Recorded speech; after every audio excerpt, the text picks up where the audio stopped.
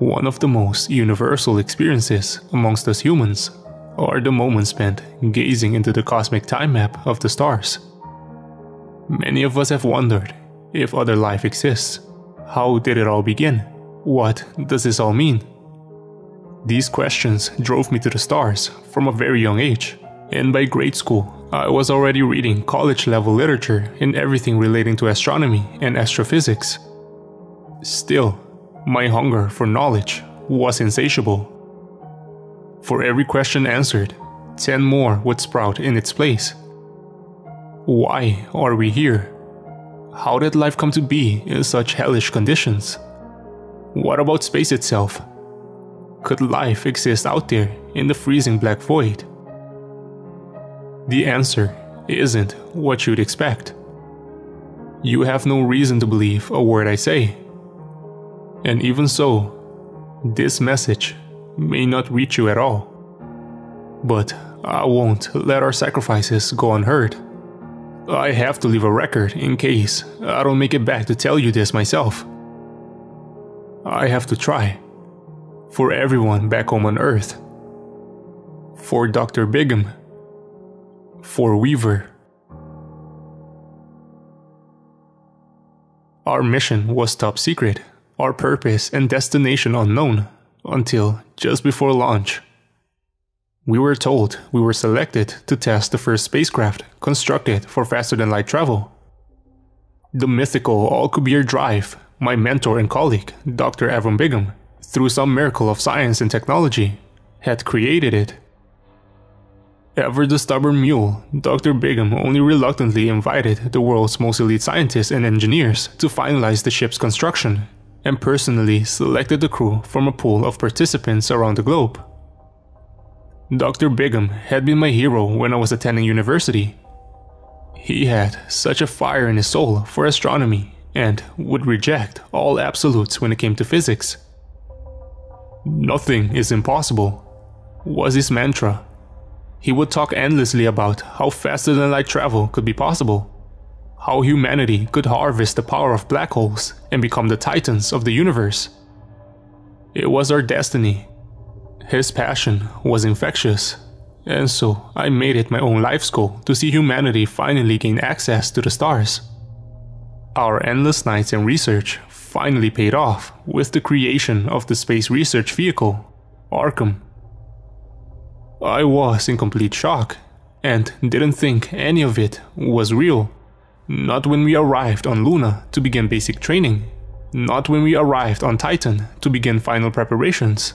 Not until the moment when I was floating naked in the suspended animation tank, preparing for our 4-year trip to the edge of the solar system. There, our journey would truly begin. Hypersleep, in actuality, was nothing like any movie or program I'd ever seen. There was nothing to keep me warm for the 20 minutes it would take to enter hypersleep. My eyes were bound shut with surgical tape. So my only sensation was the piercing cold of the sub-zero degree water. The pain was excruciating, but the only reminder that I was even still alive. I was sure I would die before stasis was triggered. But in that same second, it finally happened. And I felt the inky black of space completely take over. For once, I was happy to be asleep. I don't remember a single dream I've ever had, having been an insomniac for much of my life. But I remember the dream from hypersleep. I was lost at sea. The ocean was deep black and was almost bottomless. There was a sky, but its deep midnight purple hue was almost indistinguishable from the Black Sea. The darkness masked the shadow of the many creatures I could sense just inches below my feet. Once or twice, I felt what seemed like rows of teeth running ever so softly down my legs. It could have been for just a moment, or maybe an eternity. But without warning or pain, I was pulled downward and plunged straight into the abyss. I didn't dare open my eyes. All I could do was pray for a quick death. The first sense I regained was the wave of warmth that washed over my exposed, waterlogged body. I couldn't see yet, but I could feel my fingers were soaked and rubbery from such a long submersion. Quickly afterward, I became aware of a flurry of voices. Some were muffled and distant. Another was close and clearer. It was Weaver, our medical technician, just awakening from hypersleep himself. I remember that he'd been the first doctor to practice on Mars, and as my eyes opened slowly, and his nearly perfect physique at even 50 plus years of age was alluring and helped me bring my other senses into focus. Without warning, my ears were filled with sharp shooting pain. The blaring alarm overhead quickly forced the remaining fogginess to retreat. I knew this alarm. I had heard it before. It was the life support fail system Dr. Bigham and I had designed together. A growing dread replaced the momentary excitement I had only felt seconds ago. I turned over quickly, splashing water everywhere, to see who it was. It was Dr. Bigham. It had happened only once before in recorded spaceflight. But he went into cardiac arrest the exact moment he entered stasis. His heart was now failing without the machines to keep him alive. Weaver was the first to reach him and frantically began performing CPR. It was all in vain, as the all too familiar sound of a flatlining heart monitor were the only things we could hear outside Weaver's desperate pleas. Roberts, the ship's captain, rushed to stop Weaver's endless compressions, knowing it was too late. The next few hours were a haze as the rest of the crew awakened and processed how to go forward. There was a plan, as there always was. There was no joy to be had logging into the mainframe to assume the title of Chief Science Officer. I had hoped to one day lead my own expedition into the void. I never wanted it to be like this. As the other crew were grieving and dealing with post-stasis recovery, I turned the ship on sector by sector and began plotting our course. That's when I noticed it. It was peculiar at first, I wasn't quite sure what to make of it. I tried to align the ship with Alpha Centauri, but the ship's computers kept failing to plot a course. I knew I was doing everything correctly. My very soul had been embedded into this ship. I knew every circuit and every switch on the bridge. Troubled, I looked out into the expanse of interstellar space that lay right in front of me. My eyes searched for familiar constellations and areas I knew I would recognize. Once I found one, I tried tracing it back to the spot where I knew Alpha Centauri was. Only, I didn't find it. I searched every point in the sky. But no matter how long I searched, I could not find Alpha Centauri anywhere. This was impossible Surely, some kind of post-traumatic stress from the voyage in stasis, and now Dr. Bigham's unfortunate passing.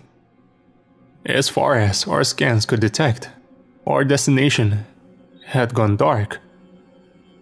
An unease unlike anything I'd ever experienced crept over me. The mysterious nature of our mission and lack of any details before launch was starting to make sense. Dr. Bigham must have known how many others knew? What else had the doctor been hiding? I said nothing, as the rest of the crew silently entered the presentation room. Roberts was doing her best to maintain appearances, but rumors of romance with the doctor had been floating around for months before our launch. Now, her stark and blank expression was more worrying than normal. Captain, I need to address the crew. I was shaky and unsure as I spoke. Roberts was a commanding figure within the crew, a no-nonsense stronghold of a woman who could drink me under the table before beating me over the head with it. It can wait until after the briefing. Her words were stern and cut through the bone. I'm sorry, with all due respect, but it can't wait. There's something I've just discovered and that was an order, Blair. Now, please start the presentation and have a seat. You may speak after the briefing. Her words were a swift rebuke of my desperate pleas. For me, that confirmed she already knew what Dr. Bigham was about to posthumously tell us. Quietly, I obeyed her instructions and started the recorded memos the late doctor had left. His haggard face flashed up on the screen. The deep ridges in his skin prominent and his hazel eyes looking straight into the camera from behind his absurdly oversized glasses. There was a deadly seriousness to his expression, a rarity for him. Whatever the reason for Alpha Centauri's sudden disappearance, it was taking quite the effect on him. The knot of anxiety and dread that had formed in my stomach was now twisting into a monumental sense of grave danger for all of us. Fellow crew of the Arkham, it will have been my greatest failure should these recordings ever reach you. For all it means that my life's work and my journey alongside you to Alpha Centauri have failed. Now, I must place upon you the most terrible of burdens. His words dripped with both heartache and a slowly rising fear. I could hear nothing but the labored breaths of my crew as we listened. By now, you have cleared the Oort cloud and are in the final preparations to perform the very first hyperspace jump using the immaculately designed jump drive of my own creation. You know this to be your primary and only objective to oversee the first successful faster than light voyage to our closest stellar neighbor, the star system designated Alpha Centauri, then return home. This is only half true. The bomb, the one we were all waiting for. Of course, there had been more to this mission than just simply testing the drive. Why else had a heavily decorated military commander with extensive combat experience be made the captain of a scientific mission? I looked over at Captain Roberts and was surprised to meet her gaze in return. Her attention could not be further away from Dr. Bigham's posthumous presentation. Instead, she appeared to be studying me, looking for my reaction. Maybe she thought I knew as well that Dr. Bigham had already told me before the mission. My confused and puzzled face must have surprised her as she turned away the same second our eyes had met. What you're about to hear is considered top secret by every recognized sovereign body on Earth. Four years before the start of our voyage, an amateur astronomer reported a strange finding to NASA it seemed that our nearest stellar neighbor, Alpha Centauri, had suddenly, and without warning, vanished from sight. There was a murmur of conversation amongst the crew now. An entire star system vanished? Impossible. Surely a miscalculation. Hearing these words coming from Dr. Bigham's mouth, I still didn't believe it. There was no precedent for this. A star cannot simply vanish, especially not the star closest to us. Dr. Bigham paused for a few moments, allowing us to absorb the full weight of what his words meant. I noticed his hands trembling, a condition he had kept hidden from most. They hadn't stopped shaking the entire video. Repeated attempts to locate the binary star system have all failed. Proxima Centauri, the third member of the system, is still detectable but we have been receiving strange oddities and fluctuations in output. You may remember some years back when astronomers reported similar findings from Tabby's star. Your primary destination is now Proxima Centauri. Specifically, the region of the planet located within the red dwarf's habitable zone. You will make your initial observations there. A crew of two will then board the ship's emergency shuttle which has also been outfitted with a jump drive and chart a route to the site of Alpha Centauri. You will record any data there is to be obtained, then report back to the Arkham. If all succeeds, you will then chart a course back to your present location to begin the journey back to Titan. The severity of your situation must not be underestimated. There is no natural or physical phenomenon that we have ever recorded that is remotely capable of producing this anomaly. Besides, there is something even more disturbing. I've traced star maps from all across history, and there is a direct line of stars that have all seemingly disappeared throughout the galaxy that led directly to Alpha Centauri. This anomaly whatever it is, does appear to be spreading. I'm sure I don't have to tell you which system is closest to Proxima Centauri. Also, there is the nature of the jump drive themselves. All you need to know is that they are powered by an extremely volatile engine, and miscalculations and impact debris are high risk factors. So, you must proceed with the utmost caution. You are all truly in no man's land now. The doctor took a long pause, perhaps growing weary from the weight of this information. He ran his hands through his thinning curly gray hair, then took one final look at the camera.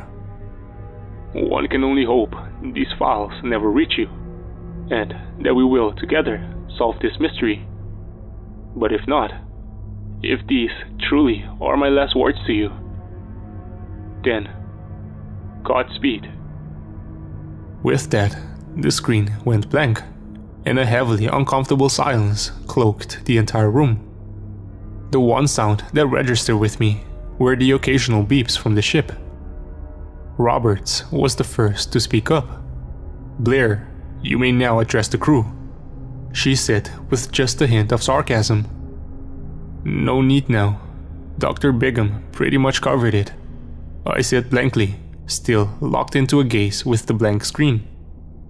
My mind was racing over the possibilities, over what could have happened to Alpha Centauri and the other stars Dr. Bigham had mentioned. What was more troubling to me was the mention of Tabby Star, which has indeed recorded bizarre fluctuations in light output.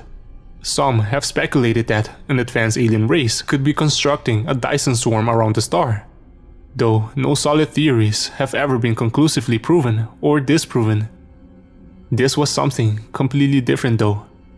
Tabby star was still detectable, whereas two whole stars from a system were now entirely gone. Proxima Centauri, a low-mass red dwarf, appeared to be next, but as it was not visible to the naked eye, we would have no idea of what we would see until we got there. Roberts took notice of the shocked expression of the entire crew, and, for the first time, spoke with just the slightest hint of concern in her voice. Dr. Bigham left detailed instructions for everyone to follow in the event of his death.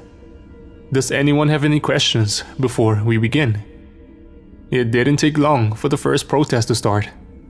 Torrance, the ship's pilot, and Roberts, second in command, was the first. Are you kidding me? This is insane.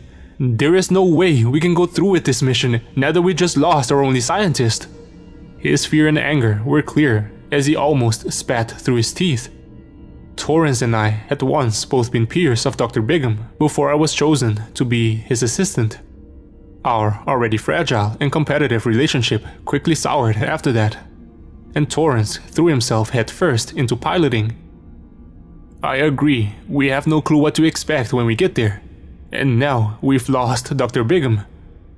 I think we should test the jump drive to get back to Sol. It would be a far better course of action now, in light of what's happened. I was surprised to hear Weaver joining in with Torrance. Weaver had a reputation for being rash and making risky choices that ended up saving countless lives. But now, he too was cloaked in the same fear everyone else was. We cannot risk damaging the ship by flying through the Oort cloud, that's precisely why we had to wait until we had cleared it to begin the mission. As you have already been told, there are specific instructions. Torrance cut Roberts off, which was something no one had ever dared to do. The rest of the crew, shocked at his bravado, just looked on as their dispute continued to escalate. I don't care. This is well beyond normal circumstances. Not only is the man who built this ship dead, but this whole mission was also all a lie. I would have never signed up for this if I had known the truth. And I'm sure most of you wouldn't have either. Torrance looked to be out of breath as he finished. He was scared. I could tell. Whatever concern and humanity Roberts had displayed earlier was swiftly replaced with her usual icy demeanor. But you did sign up for this mission. You signed an ironclad contract. Now, of course, I cannot force you to participate. Our superiors are trillions of miles away. If you refuse, however, We will forcibly place you back into stasis until the completion of this mission, and I'll return to Titan, where you will be placed under arrest and stripped of your title, status, and all privileges. I have to admit, there was something provocative and sensual the way Roberts took control of any situation. I could see Torrance beginning to shrink in the presence of such a commanding woman. No doubt the both of them wanted to curb stomp the other. Still, Torrance had never been able to read the room. And so he continued on his tirade. I'd like to see you try. Seriously, I'll fight every single one of you. No one's forcing me to do anything. Torrance was really trying to put on a brave front, but it just shattered completely in the face of someone who was clearly bigger, more powerful, and more intimidating than him. If someone didn't interject soon, this was not going to end well. As Roberts began making a motion towards Torrance, thinking on my feet, I jumped up to place myself between the two. Stop, both of you. This isn't helping. My voice was shaky, and I didn't feel near the confidence I was trying to project. Roberts, taken aback, could only stare at me with her mouth slightly agape. Torrance, however, looked poised to attack at any moment. My feet stood firm though, and I continued. Torrance, I know you're scared. I'm scared too. You heard what Dr. Bigham said. This isn't about us. It's about everyone else back on Earth. Screw you, Blair. What else do you know? You had your hand so far up Dr. Bigham's ass. He must have told you everything. Torrance was becoming even more aggressive. I knew it was only a matter of time before Roberts forced her way back between us. I didn't know, I swear. I only found out just before you did. I wouldn't have agreed to come either had I known the truth. I lied, hoping Torrance would take the bait. Nothing short of a gamma ray burst would have stopped me from joining this mission. We all signed the same contract, Torrance, and there are 10 billion people that are counting on us. Not to mention everything that will be within our grasp once this ship is fully activated. The whole Milky Way galaxy, Andromeda, the local group, maybe even the entire observable universe. I know you, Torrance, and I know there's no way you wouldn't want to be a part of that. We need you. I stopped, allowing Torrance to absorb what I had just said. His shoulders began to relax, and I could sense his breathing returning to normal. Roberts looked on suspiciously. Well, now that we've all regained composure, we will initiate the first jump to Proxima Centauri in T-minus one hour. You may begin your preparations. Dismissed. Roberts didn't stay any longer and disappeared into her personal quarters. Not able to stand the thought of everyone staring at me, I left without a word and headed to the bridge. As I mindlessly brought all the systems online, the only thing I could think about was Alpha Centauri. Nothing but titanic darkness lay in the spot where our closest neighbor once was. What could have possibly caused an entire binary star system to disappear? The only real option in my head was some sort of black hole encounter. Maybe a rogue black hole that remained undetected disrupted the system, sending Alpha Centauri A and B into interstellar space. Even that remote possibility stretched my suspicion of disbelief well beyond its limits.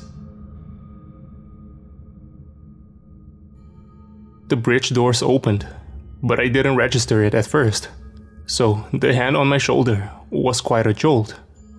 I jumped back to see Sydney, the most senior astronaut outside Roberts.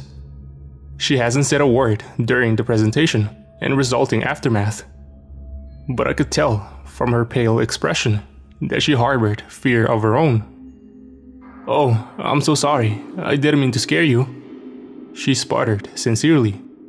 Sydney was the exact opposite of Roberts in almost every conceivable way, and in many respects reminded me a great deal of Dr. Bigham. She had joined the NASA space program right out of college and was the first woman to set foot on the Titan at just 27 years old. The subsequent decade spent in space had taken a toll on her physical appearance, but her natural curiosity of the unknown still kept her from settling down. It's okay, I assured her, turning my head back towards the expanse of space. I could sense Sydney was equally entranced by the view before us. Despite our now unprecedented and worrying circumstances, it was still a marvel of technical achievement to be able to see what we're seeing. The countless specks of glimmering light shining from hundreds and thousands of light years away were a living time capsule of an era long past. Is everything ready? Sydney asked half-heartedly. I could sense her unease. It was cold and familiar. Yeah, just waiting for the rest of the crew to join us before we begin charging up the engine. It felt hollow just saying those words, as I had no idea what was even powering this ship. Dr. Bigham had cherished my devotion to him and his dream, but for some reason hadn't thought it prudent to include me in every aspect of its construction. This had infuriated me before, but now it only fueled my growing discomfort at having to fill in his shoes. This was truly a case of the blind leading the blind. What do you think happened to it? Her voice trembled. Alpha Centauri? I have no idea. I have my theories, each one more implausible than the next. I finally turned to face her, but she kept her gaze forward. Sydney's almost ruby hair fell into curls all the way down to her neck, framing her narrow face.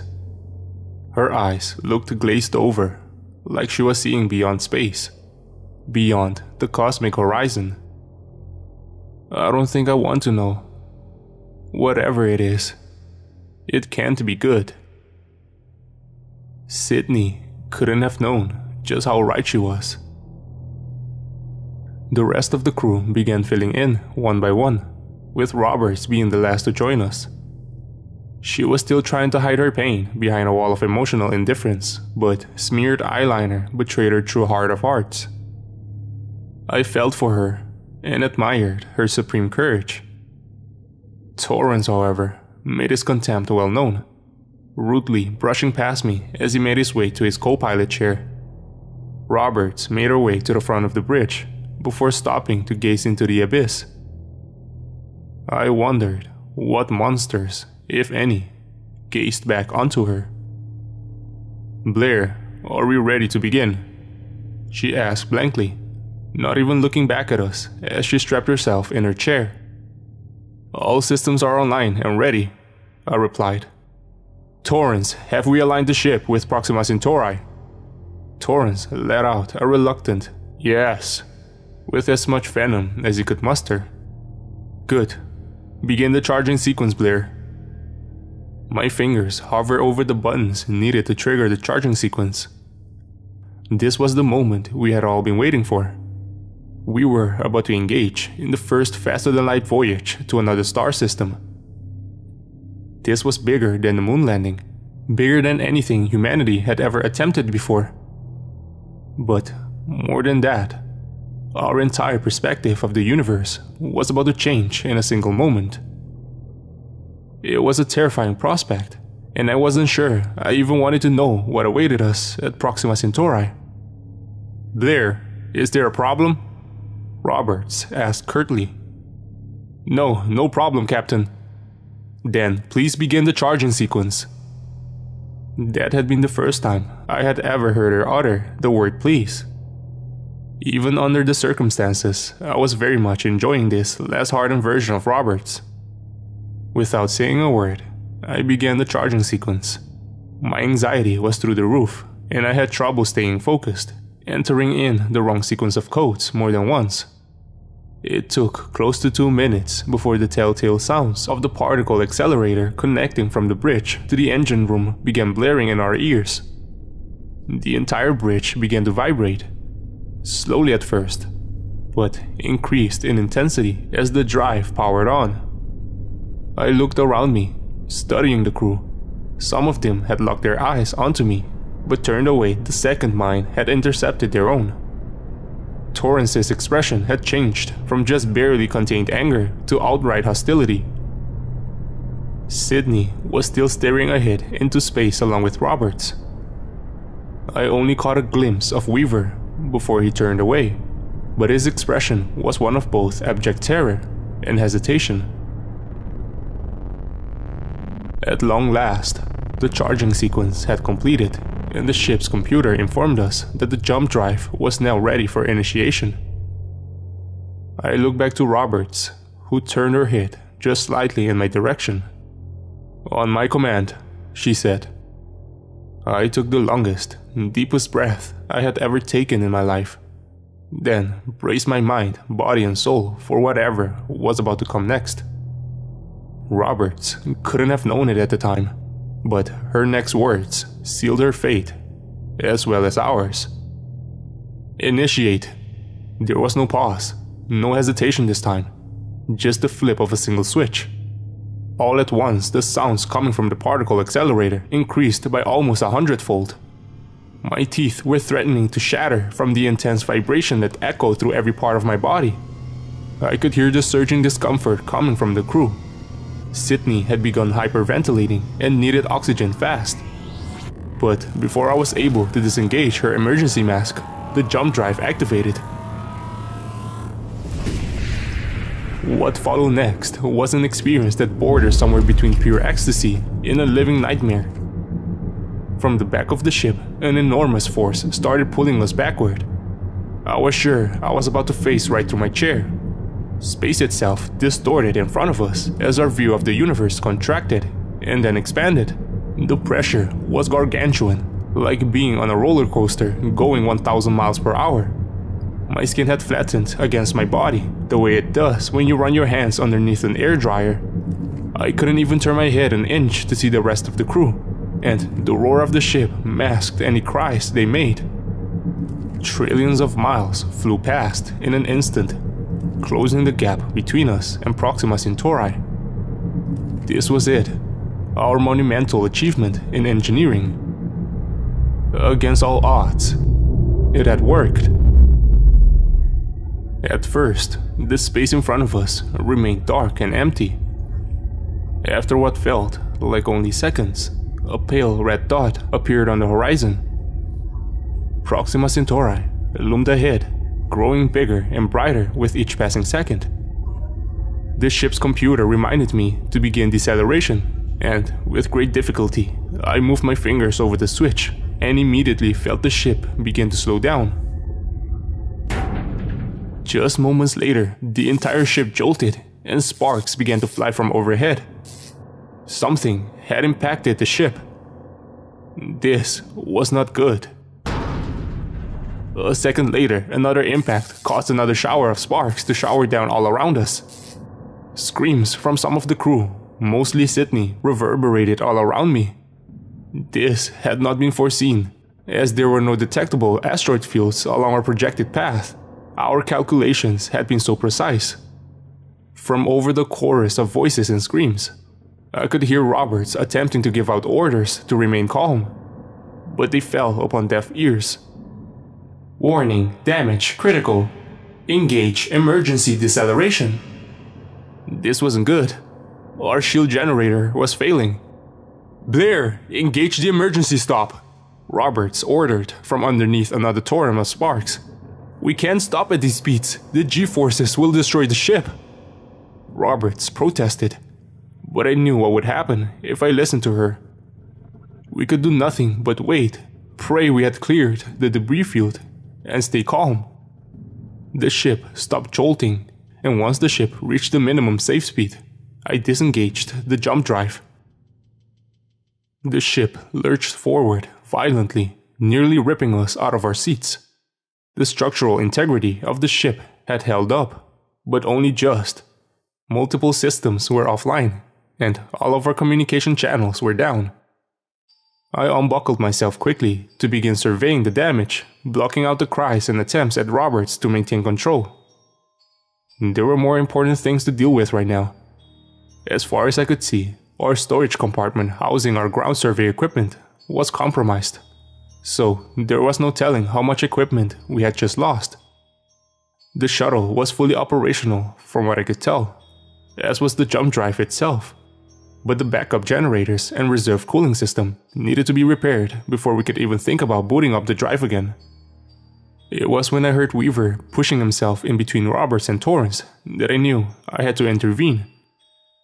I shouted for everyone to shut up and listen.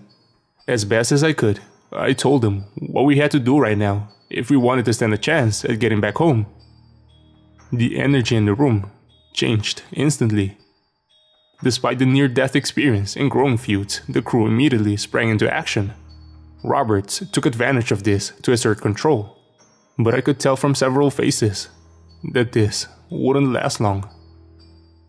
Torrance and I went to assess the cargo hold, hoping that the breach was small. We were dismayed to find the compartment had been wrecked by the breach. Several small holes had created enough suction to pull most of the equipment to the walls. Sparks were flying everywhere, and from the looks of it, our planetary surveillance rover was in pieces all over the ceiling. We would need to patch the holes before we could enter. Weaver joined us as Roberts watched on from the cockpit. She had continued to bark orders at everyone, but she was losing her cool, as most of them had gone unheard or ignored. There was nothing she hated more than losing her authority. Torrance was back to his passive aggressive routine so that left only Weaver and me to try and maintain the peace. As we worked, my eyes kept drifting to Proxima Centauri, enraptured by its glowing red light and dominance of the pitch black sky. We managed to patch all the holes and repressurize the compartment. Not that it did us much good. All of our data collection modules and survey equipment had been trashed, leaving us with no way to scan the planets in the Proxima Centauri system not that it would matter anyways. When we were back aboard the ship, Sydney dropped yet another bomb on the crew. The planet that had been our original destination was no longer detectable, just like Alpha Centauri A and B. By this point, I had lost my ability to be shocked. Torrance, in a fit of anger, swung at Weaver as he tried to come in between him and Roberts again. I dove in to try and block him and ended up getting the full brunt of his fist to my left temple. The last thing I remember is my body hitting the floor before the pitch black took over again. No dreams this time, thankfully. When I awoke, Weaver was standing over me, looking as striking as ever. He smiled at me, a smile I returned in kind. Had our circumstances been different, I'd be resisting a powerful urge to kiss him. Instead, the weight of our situation collapsed on top of me almost instantly. Weaver said that Torrance was in isolation, with Roberts just one click away from placing him back into stasis. As I got up, the wave of searing pain in my temples nearly put me back on the table. Weaver gave me some beautiful pink pill that instantly put my throbbing headache at ease. Roberts wants us all back on the bridge as soon as you're ready, Weaver replied. I silently agree and left with him at once. When we arrived back on the bridge, Torrance had been let out of isolation, but was still brooding in the corner by himself. I could feel the hate radiating off of him while Roberts looked almost disheveled and not her usual self. As soon as she saw me, she walked right over and pulled me away from Weaver. Blair I know Dr. Bigham personally selected you for this portion of the mission. However, after Torrance's outburst and the discovery of the missing planets, I'm overriding his directives and will be accompanying Torrance myself. I thought she was kidding at first, but her stern and cold expression said otherwise. With all due respects, Captain Roberts, Dr. Bigham stated. Roberts cut me off before I could even protest. I know what he said, I was there. I know how to collect and analyze data, Blair. What I don't know are the ins and outs of the ship. And if something happens to you before the ship is operational again, we might never get back to Earth. Also, there is the matter of Torrance. His behavior is unpredictable at this point, and if he gets in the way of the mission, I'm not sure you'll be able to do what is necessary to prevent him from interfering. She was right.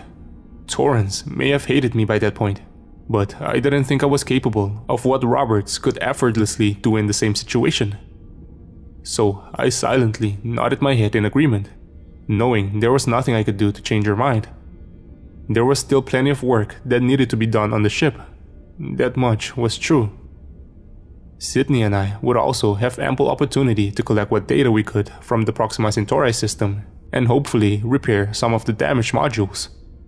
Still, part of me yearned to see what had become of Alpha Centauri. If there was anything else left to see. Robert asked for a status update on repairs, which I told her were still ongoing, but that the shuttle was up and ready for launch. Torrance made a scene as usual when told it would be him and Roberts piloting the shuttle to the Alpha Centauri system, but was otherwise undisruptive. Roberts then told everyone that once she was off the ship, I was effectively in charge until she was back. I was to oversee the final repairs and collect what data we could. I walked the two of them to the loading dock silently, watched them suit up, then bade them one final goodbye. Roberts nodded her head in return, but I was surprised when Torrance spoke up. Good luck, soldier. There was something so stark, so brutal, the way he said those famous last words. I could only straighten my back and smile in return. The airlock doors slid into place, cutting off contact with my fellow crew for the last time.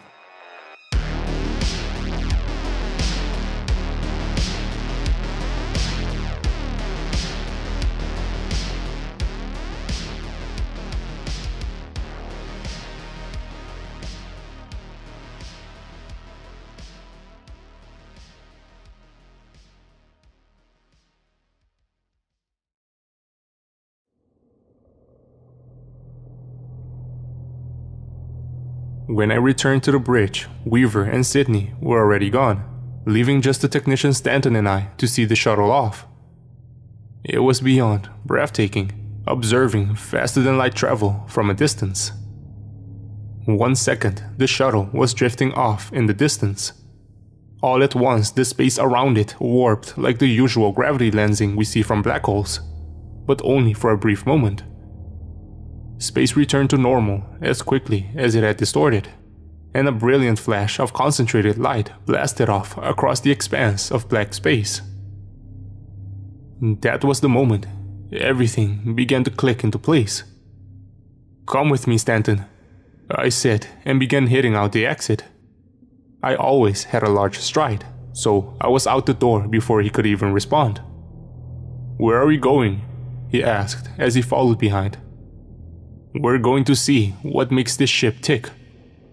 Perhaps curiosity truly did kill the cat, because that was all Stanton needed. He followed me wordlessly as we navigated the labyrinthine network of passageways and chutes to the engine compartment. Dr. Bigham had made it known he wanted it to be as difficult as possible for anyone other than him to be able to access this area of the ship. And for all intent and purposes, he succeeded. After what felt like an hour, we finally made it to a long, dark, and narrow corridor leading to the engine room. The door required a series of complex puzzles, almost like a video game, along with the chief science officer's code that was now mine. I almost laughed out loud, realizing how silly and over the top this all was. But that was the doctor, heart, body, and soul. At last, the familiar hissing of the hydraulics sounded that the door was opening. What lay before us was about the most mundane and boring room you could ever hope to find on a ship. Dr. Bigham, the troll, was definitely starting to come out. The whole room was white, save for a perfectly round black spherical area that filled the entire middle of the room and dipped significantly into the floor, at least a yard or more. A manual computer station, hidden behind a wall, began unfolding its way out as we walked into the room. Stanton and I stood in awe, or maybe befuddlement. I'm not sure which. The sphere was a series of segmented plates made of what looked like marble. I ran my fingers over it and could feel it was still warm to touch despite it having been hours since the ship had stopped.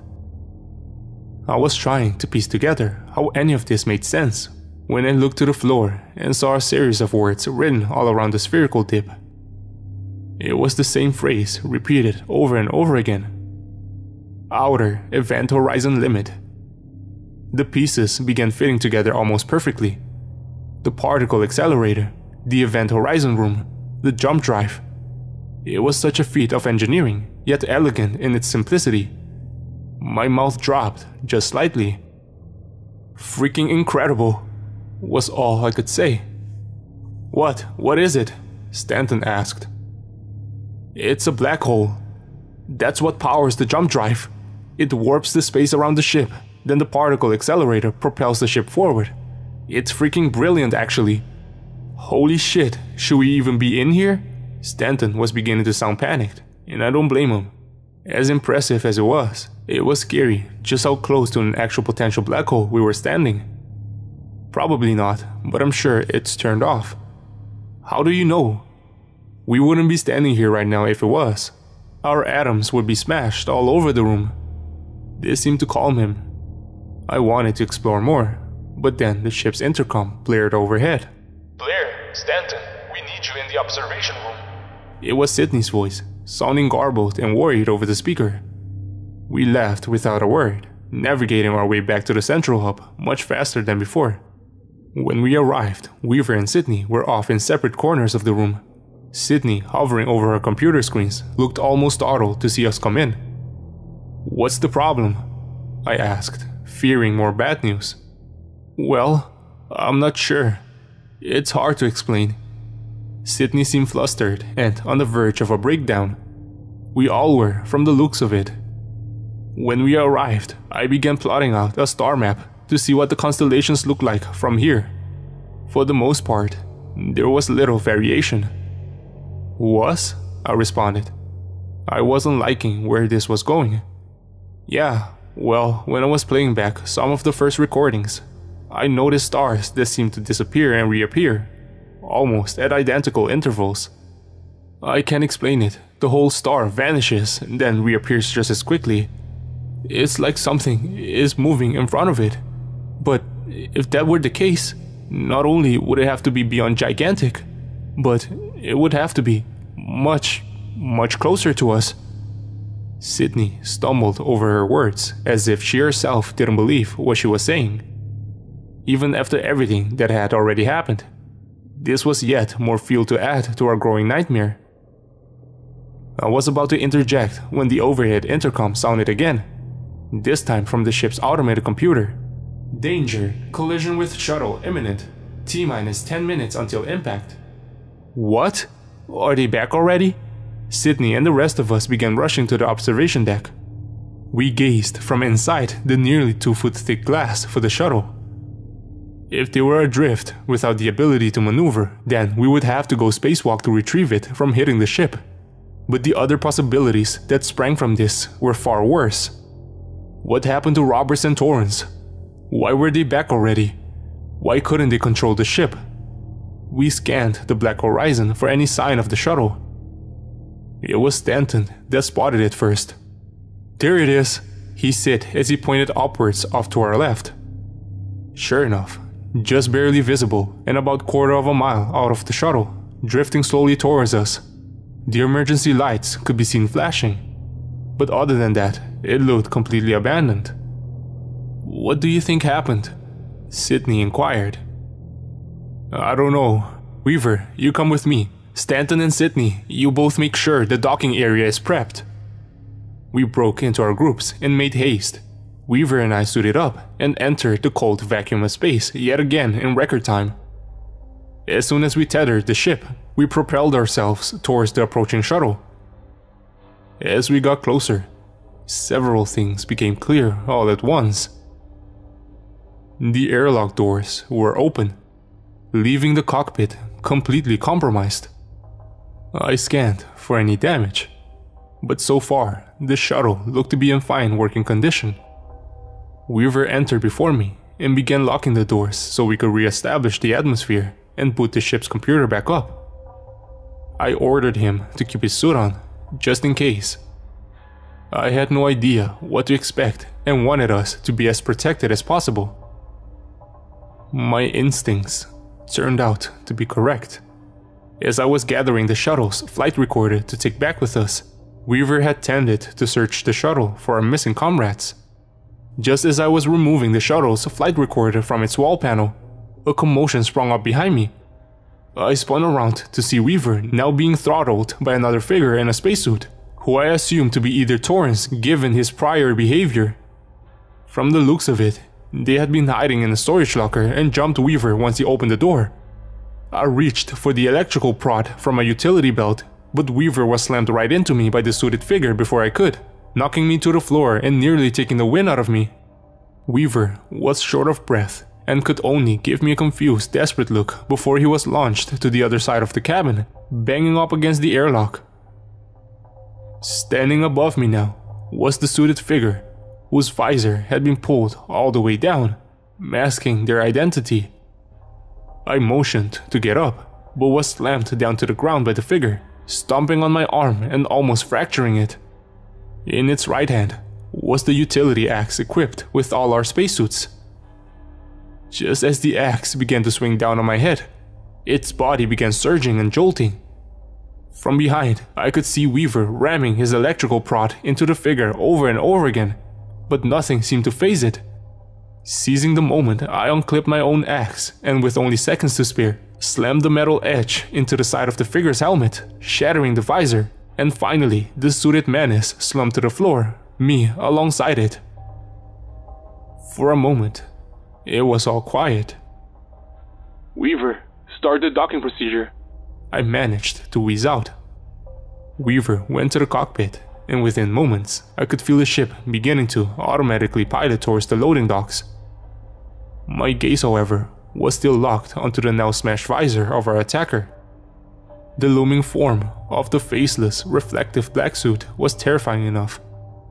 But it was what I didn't see that truly horrified me.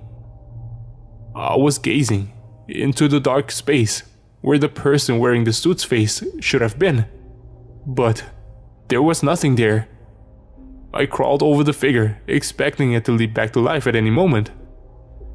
It lay still as I brought my face inches to the visor, still staring into that blank void.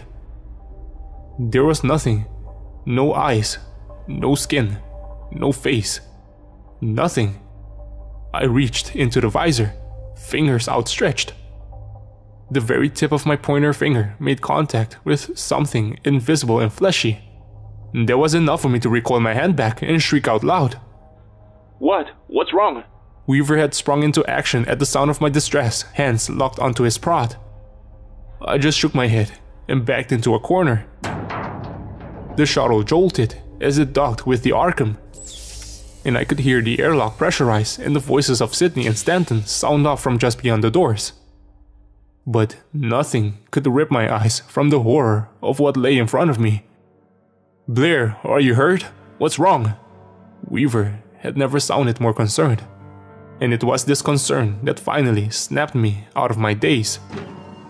The airlock doors opened, and Sydney rushed in, followed by Stanton. Is everyone okay? We heard fighting over the intercom. Sydney was surveying the scene and saw the crumpled figure in front of us. Who's that? We're not sure yet. They attacked us both as we were getting the shuttle back to the docking platform, Weaver explained. There's nothing there, I said, under my breath. What? What do you mean? Weaver asked as he looked towards our suited attacker. But I could see the flash of recognition go across his face as he saw what I saw. What? What happened? Sydney began, but she too saw that nothing was inhabiting the suit. Stanton began moving towards it, but I urged him to stop. I simply grabbed the cord that had tethered us to the ship and began wrapping it around the suit. What are you doing? Sydney sounded almost accusatory. I'm not taking any chances. Weaver joined me in tying up our attacker, and once we were sure it was secure, both of us dragged the suit to the medical bay. Strapped to a table, we tried to break off the suit, but something had happened that had infused multiple parts of the suit and shredded it in other places. Weaver had found some baking powder and used it to spread a layer over where the face of the wearer should be. Sure enough, the form of Robert's face became clear as Weaver coated it with the powder, though her features were warped and upon closer inspection, Her skin appeared to be moving and distorting. I was baffled. The behavior of the suited figure had led me to suspect it was Torrance, but clearly it was not. Now, an even darker question loomed. As he could read my mind, Stanton spoke first. If this is Roberts, then where's Torrance? Nobody had an answer. I remembered the flight recorder, grabbed it without a word, then turned to leave. Stay here and guard her, or whatever that is. I'm getting some goddamn answers. I spat out. I was beyond scared, beyond terrified, beyond confused. The events surrounding us were only getting stranger by the minute. Whatever happened on the shuttle at Alpha Centauri, I knew it held the answers we sought. Footsteps sounded behind me, and I looked to see Weaver running up alongside me. I'm coming with you. No, please, wait with the others. If that thing wakes up, Sydney and Stanton can handle it. Besides, I want to know what happened on that shuttle too. I smiled and silently admired Weaver for his natural curiosity and spirit despite these dire circumstances. We walked briskly back to the central hub, flight recorder in tow, and began the process of accessing the data. The Arkham's communication systems were still completely offline, and so we had to upload the data manually. While we waited, I began pulling up the video archives. Weaver and I watched as Roberts and Torrance took off in the shuttle as they approached the binary star system. That was when things began to shift. The video files became increasingly corrupted, and Roberts and Torrance faded in and out of sea of multicolor static.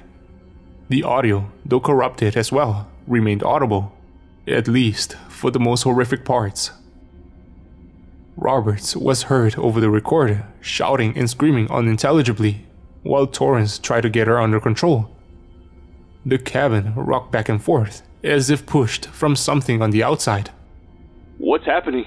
The ship stopped. All systems down. Roberts, what? Roberts looked to be in a trance from the few clips that managed to get through the static. A split second later, she was gone.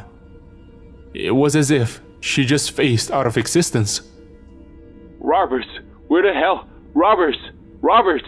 The audio cut off for a moment, only to resume with the sounds of horrified yelling in the shuttle's computer systems. Warning, airlock systems deactivated. Cabin depressurizing in 30 seconds. What are you? Stop! Roberts! What are you doing? Stop! No! The last split second image we saw before the video cut out for good was of a suited Roberts by the airlock doors in a frantic Torrance grabbing hold of his seat for dear life before the airlock doors opened sucking Torrance out of the frame and into the void of space. I thankfully looked away before the worst of it. But judging from the look on Weaver's face, he'd gotten a full look at Torrance's rapid decompression as his screams of agony were sharply cut off. The video and audio stopped after that. The silence in the room was deafening. Once more, all I could detect was our shallow breaths as we absorbed the horror show that had unfolded before us. What the hell was all Weaver could muster? A message flashed on the computer screen, telling us that the data had been fully processed and was ready. Hesitantly, I moved the cursor to the files, and one by one, numerous screens and charts began loading onto my screen. From what I could gather, as the shuttle had approached the site of Alpha Centauri, long-range telescopes began picking up two small bodies of mass in the exact position of the two stars. Though the temperature readings were cooler than any stellar body detected, and the size of the objects were roughly the same as Earth, they both had a mass far greater than anything a planet could substance. It took me a bit longer than normal to come up with a hypothesis, but once it emerged, it nearly took my breath away. I sat back in my chair shaking my head in disbelief at what I was looking at. Something that had never been discovered before. Something that shouldn't even exist yet. That's not possible, I whispered to myself. What? What's not possible? Weaver was scared, but his fear was nothing compared to mine. I was silent for a moment more, still in utter shock at this newfound discovery. Alpha Centauri, it's still there, but it's become a black dwarf. An icy chill ran all down my body and back up my spine as I said those last words. What's a black dwarf? I didn't expect him to know what it meant. How could he? It was an almost empty and unexplored area of the celestial sciences. It shouldn't exist. It couldn't exist. It was a complete impossibility. This was no lie, however. No trick. No deception. The very first black dwarf discovered by men was less than half a light year away. Black dwarfs are the stellar remnants of white dwarfs after they've cooled to almost absolute zero. It's the final stage of all stars that don't turn into black holes, I explained. So what's the problem? The problem is, these things shouldn't exist yet. The time it takes for a white dwarf to cool is estimated to far exceed the known age of the universe. We're talking quadrillions of years here. But that's impossible.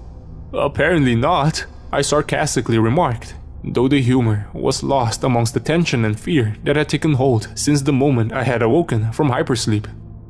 It felt like some fever dream, an ungodly nightmare that I kept hoping and praying would end, that I would awake in my hypersleep chamber that Dr. Bigham would still be alive and we would be on our way to make history, ensuring our names are engraved within science books for all time.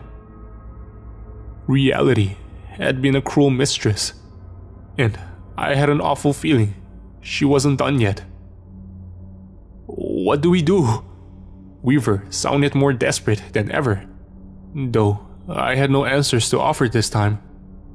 I don't know if there's anything we can do. If whatever caused this change has made its way to Proxima. My words trailed off. The mysterious fluctuations in light output, the shifting constellations Sydney had reported. Somewhere, something primordial was awakening. Just as those insidious thoughts penetrated my mind, the now ominous voice of the ship's computer sounded off once more. Attention, all personnel report to medical bay. Several crew members have experienced catastrophic injury catastrophic injury. I cringed and shuddered at what that could entail. Weaver and I gave one wordless glance to each other before jolting upwards and running down the long corridors to the medical bay. When the doors opened automatically, my eyes were immediately assaulted with a sense of horror I'd only ever seen in movies. I could only register the image of blood coating nearly every surface before the churning in my stomach overpowered me and I twisted downwards to void the contents of my stomach. Though I was sure I caught the glimpse of what looked like a severed arm hanging off a table. Weaver didn't handle it much better than I did, and we both nearly fell backward into the corridor, the stench of iron clinging to the air. What the actual fuck? I'd never heard Weaver curse before. He had remained so composed, more so than all of us. Yet, it was this breakdown and curse that truly broke me. At the moment, I was convinced none of us were getting back to Earth alive. Sydney, Stanton, Torrance, Roberts, whatever has inhabited her form, was now loose aboard the ship. There's no telling where it could be now. I darted my head, looking down the corridors, half expecting it to come around the corner at any moment. Airlock breached. Warning. Depressurization in loading dock. The blaring alarm and booming voice from the computer barely registered at first. It took Weaver shaking me and grabbing me off of the floor to break me free. We gotta go! Come on, Blair! Weaver was reasserting control, and it was all I needed to free my mind. We both grabbed our helmets and began running towards the loading docks. We turned the corner when the airtight doors dropped down almost directly in front of us. Just a few steps further and it would have split us right down the middle. Ship atmosphere compromised, sealing all airtight doors. From behind the now sealed doors, we could hear the pull of space sucking everything it could into the vacuum. A loud bang came from the doors. Whatever was on the other side, It knew we were here and it was coming for us. My heart skipped a beat and I contemplated the entirety of my life and everything that had led to this moment. I was half tempted to throw open the doors and launch myself into space, letting the void carry me into eternity. Something else was stirring inside of me though. A feeling I had never known before. It felt animalistic and raw. No, I wasn't ready to give up just yet. The fight to survive overpowered my fear for the first time. One way or another, this was going to end right here and now. Thinking on my feet, I called to Weaver. Put your helmet on. I've got an idea. Weaver didn't question it and fastened his helmet on just as quickly as I did. We both hitched ourselves to the wall, and once I was in place, I silently looked over at Weaver, now unsure if this was a good idea. I peered deep into his eyes, looking for any sign that I should stop. But he only nodded to me, and that was all I needed to feel that surge of adrenaline again. My heart now racing and the heat in my head swelling, I took the plunge and deactivated the airtight doors. The moment they opened, the cold vacuum of space roared back to life, pulling us with great force towards it. The suction only lasted a few seconds, and soon the weightlessness of zero gravity surrounded us both. Looking ahead, I could only see Roberts, or what she had now become, floating in the doorway. Large chunks of the suit had been ripped off, and now the form that inhabited her remains looked more menacing than ever. There was no warning, no sound, nothing. All at once, the form charged full speed ahead towards us. I braced myself for impact, but couldn't have predicted the force at which it slammed into me. The jumbled mass of ripped fabric and bent metal began lunging at me, doing whatever it could to land as much damage as possible. I reached for my utility axe, but this time it had expected this and ripped it right out of my hands. Its gloved fists started pummeling into my suit and visor. Just as I thought, it would shatter the visor as I had done before. Weaver charged in from my side and slammed my attacker into the wall. My head was spinning from the attack and I couldn't see straight at first. I watched as Weaver attempted to subdue the creature, but with no success. After trying to break his visor with its fist and failing, it tried a new tactic and began slamming its face over and over into Weaver's. I knew he only had seconds left. Summoning all the strength I could, I propped my feet against the wall and launched my body with as much force as I could muster towards the airlock. Arms outstretched, I grabbed hold of the suited menace and carried us away through the corridor and towards the open mouth of space.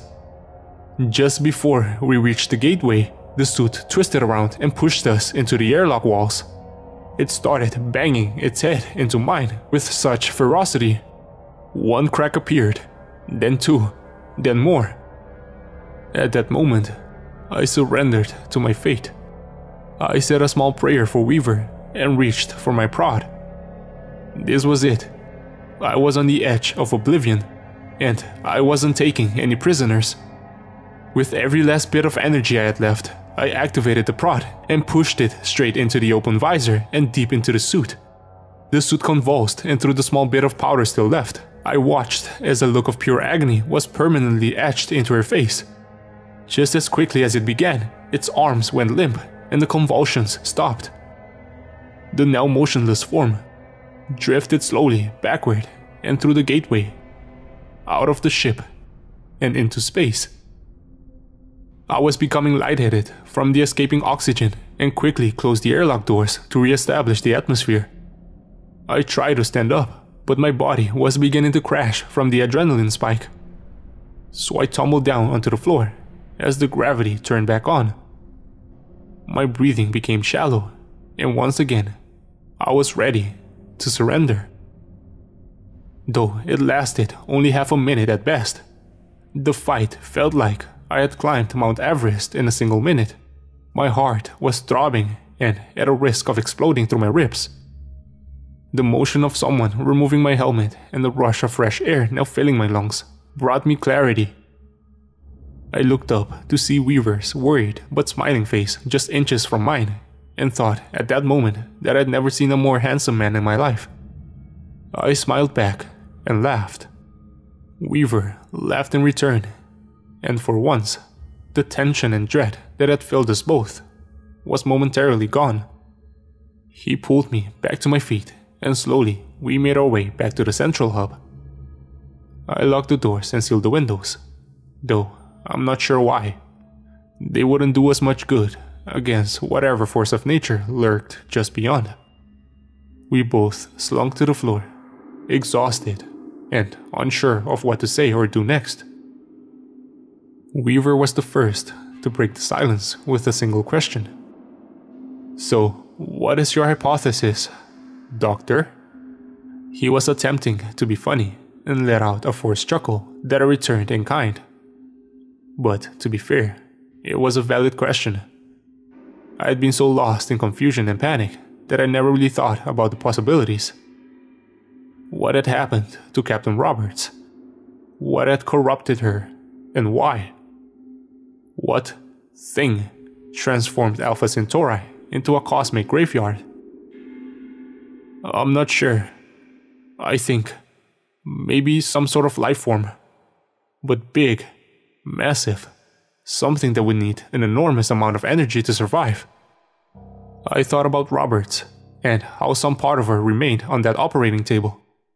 The way her skin moved and folded, she had either become invisible or assimilated somehow by this entity. This was the most puzzling of all. What had consumed her? What exactly was this thing made of? Normal baryonic matter seemed unlikely. What were the alternatives? The way it had reacted to the electric prod had been telling.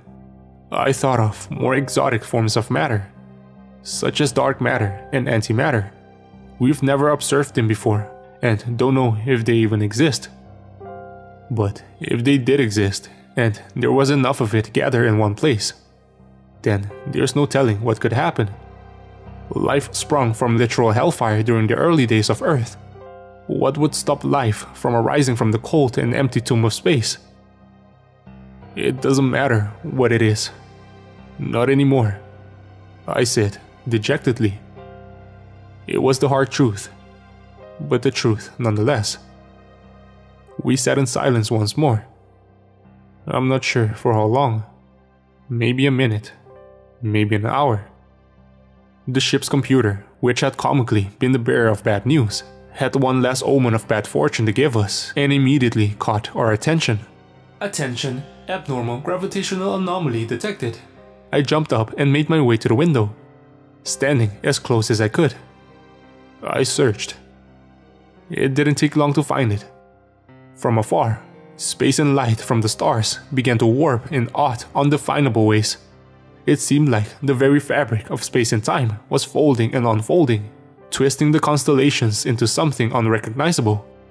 The Arkham was positioned roughly two light minutes away, giving us plenty of space to watch the scene unfold safely, relatively speaking, but close enough for us to get a full view of Proxima Centauri's final fate. There are some events that defy explanation. No words invented by mankind could ever sum up the fear, horror, and pure existential dread witnessing that behemoth devour the Red Dwarf I'm sure that, no matter how long I live, every time I close my eyes, that haunting image will be there, waiting for me.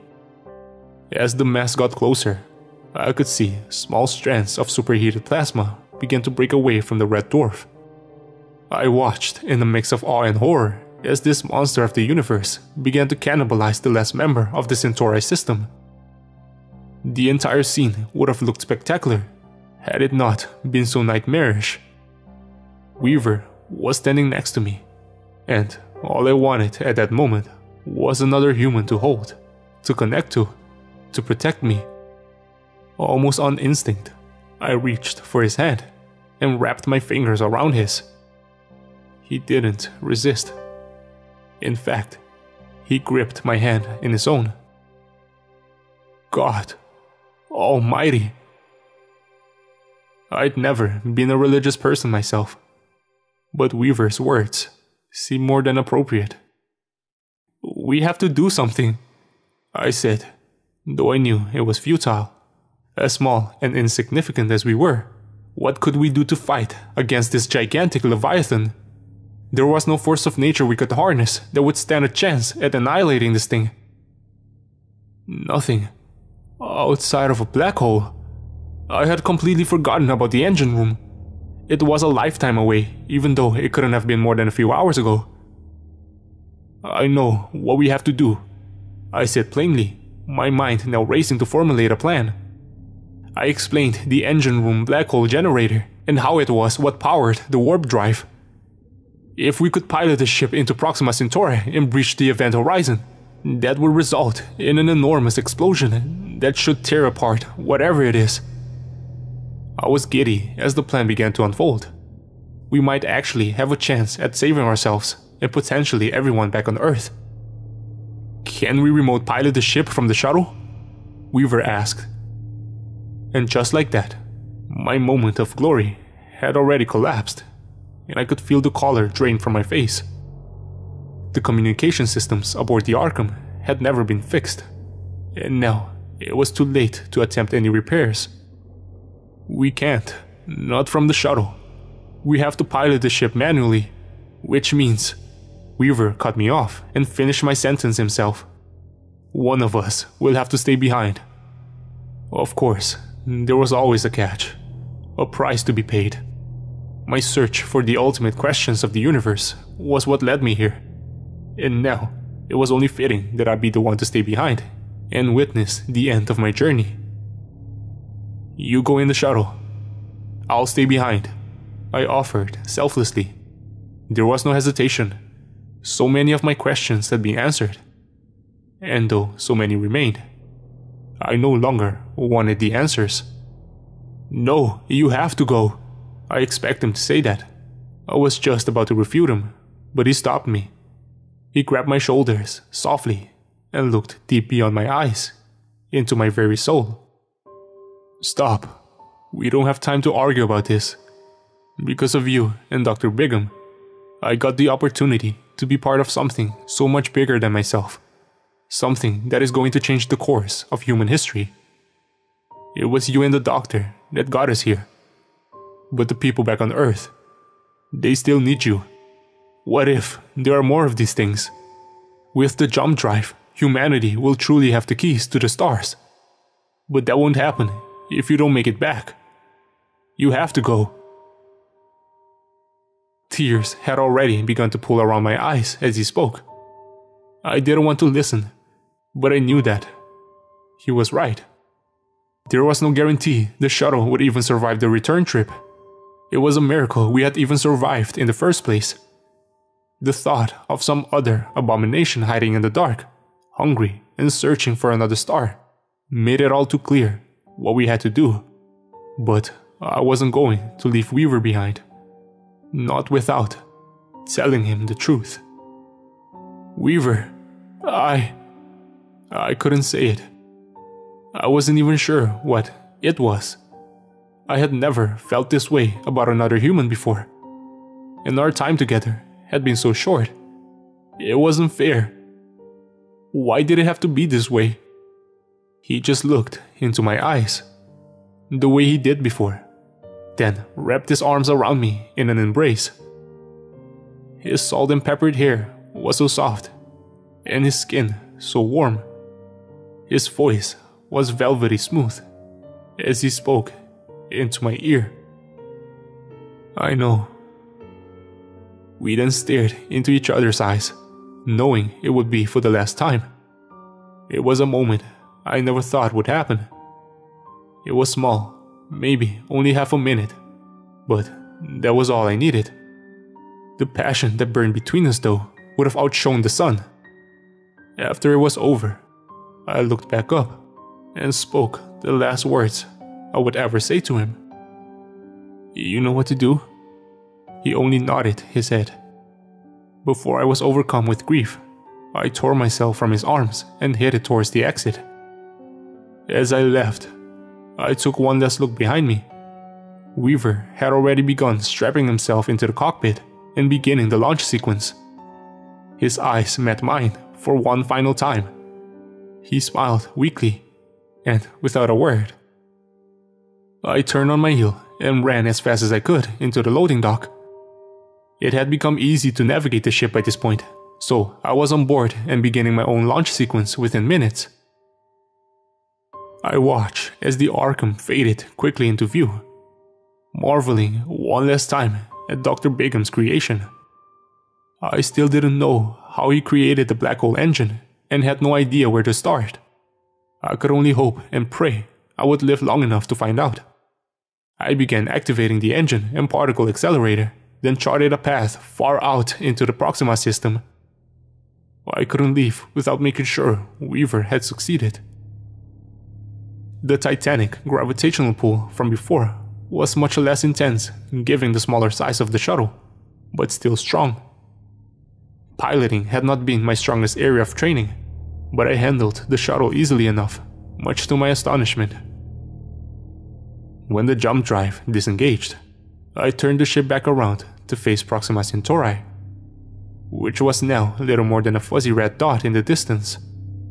The distortions from the entity and lensing effect could still be seen as well, only on a much smaller scale.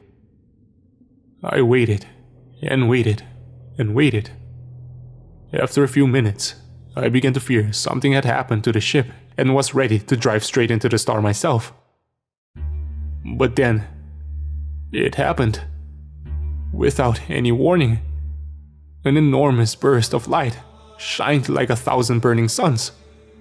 I shielded my eyes as best as I could and waited.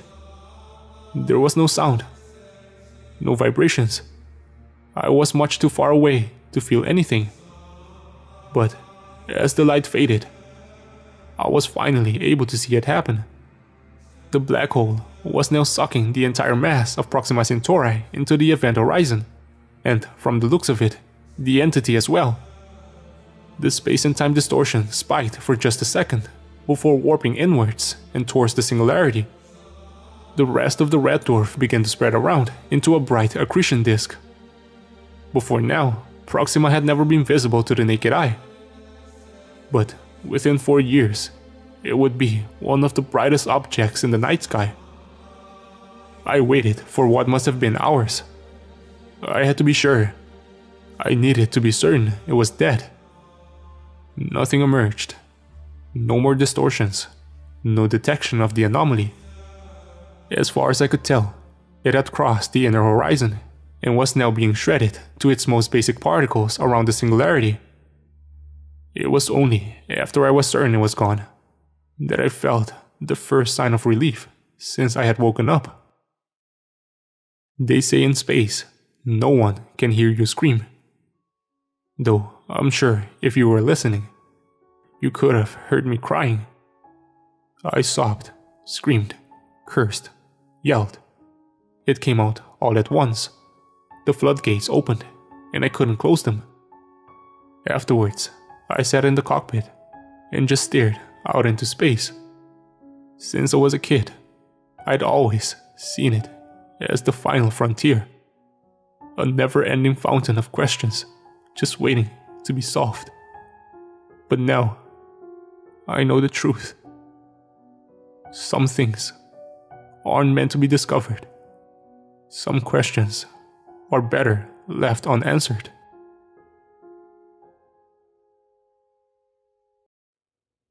After wiping the last tears from my face, I began plotting my course back to Sol. Before I was about to engage the autopilot, I thought of the mammoth journey that lay ahead of me there were a thousand things that could go wrong. What if this shuttle had been damaged somehow during the assault? What if I died in hypersleep like Dr. Bigham? I couldn't risk not leaving behind a record of these events to show the people of Earth what Weaver, Roberts, Torrance, Sydney, Stanton, and Dr. Bigham gave to protect them. It will be my greatest failure should this message not reach you. I'm broadcasting on all radio frequencies and sending this message through all channels. My only hope is that someone, somewhere back on Earth, finds this before they find you. My name is Damian Blair, junior astrophysicist and the last survivor of the space research vehicle, Arkham. And I'm coming home.